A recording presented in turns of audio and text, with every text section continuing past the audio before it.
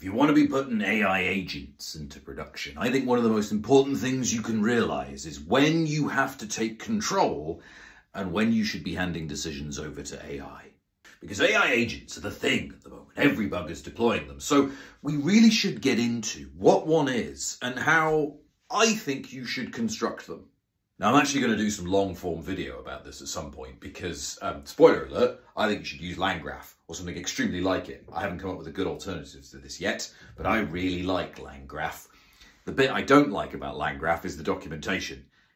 It's not good, so we should contribute to that ecosystem with tutorials and things like that. However, that is for another time because I think one of the strongest things you can do with LangGraph is you can figure out when you should take control over an agent's process and when you can leave it to itself.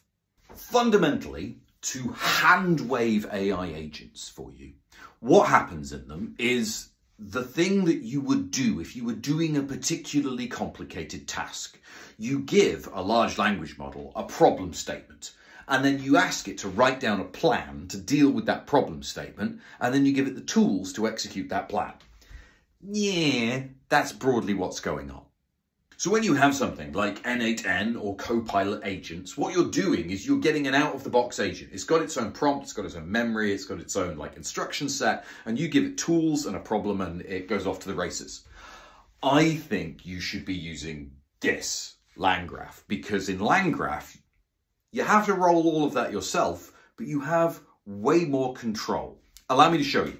So if you have to do something like reading from a SQL table to get some insights into the data that's actually in it, this is approximately the graph that you would need in order to be able to do that. You need to connect to the database, you need to list out the tables, you need to pick a table, you need to write some SQL, you need to check that that SQL is valid, and if it isn't, go back, and then you actually like do the SQL only a couple of these steps actually need you to have a large language model doing something. So you need it to write the SQL. Sure, you probably want to check the SQL, though there are some additional libraries that you might want to check that SQL for as well. And, and maybe you need it to pick a table.